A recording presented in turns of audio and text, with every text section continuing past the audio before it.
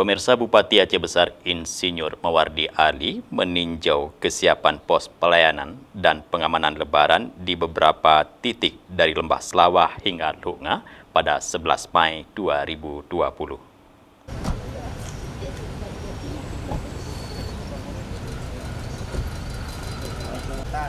Peninjauan tersebut didampingi dan Dim 0101 BS Wakapolres Sekda Aceh Besar, para asisten Kadis Kesehatan, Kadis Perhubungan, Kepala Badan Kesbang Polinmas, Kepala BPBD, serta Kabak Humas dan Protokol.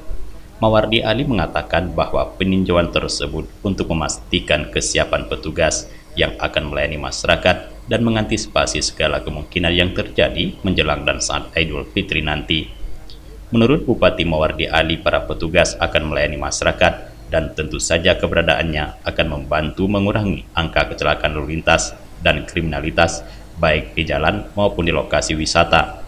Ia juga mengatakan bahwa unsur yang bersinergi pada pos pengamanan Lebaran 2021 tersebut antara lain kepolisian, TNI, petugas kesehatan, perhubungan, BPBD, Satpol PP dan WH serta PSG bukan uh, sebagai pos mudik ya, tapi pos uh, keamanan untuk memastikan bahwa memang uh, ini mendekati hari raya ini pergerakan masyarakat ini uh, sangat tinggi baik antar kabupaten maupun antar kecamatan maupun dari berbagai aktivitas lain.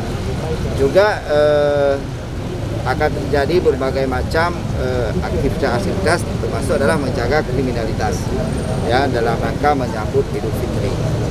Nah di perbatasan juga eh, tadi ada juga pemeriksaan-pemeriksaan dan eh, nanti kalau terjadi ramai sekali akan dijadikan eh, penyekatan-penyekatan. Tapi selama ini masih eh, lancar, ya normal eh, seperti biasa.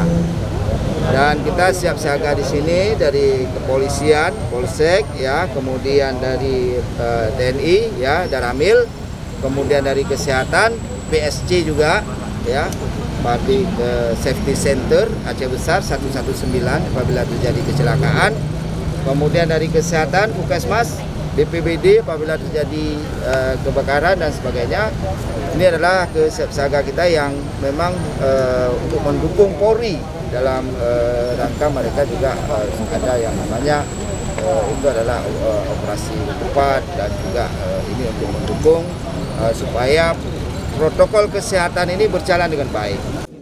Sementara Dandim 0101 BS Kolonel Infantri Abdur Razak Rangkuti Esos MSI meminta para petugas untuk semangat dalam menjalankan tugas pelayanan dan pengamanan dengan siaga dan senyap, terutama di daerah sekitar, jalan umum, dan lokasi wisata yang diprediksi akan ramai pada lebaran kedua dan ketiga. Pos pengamanan lebaran tahun 2021 dalam wilayah Aceh Besar berada di Bundaran Lambaru, Galung, Sibreh, Sare, dan Rukna. Dari Aceh Besar, Tim Liputan Aceh TV melaporkan.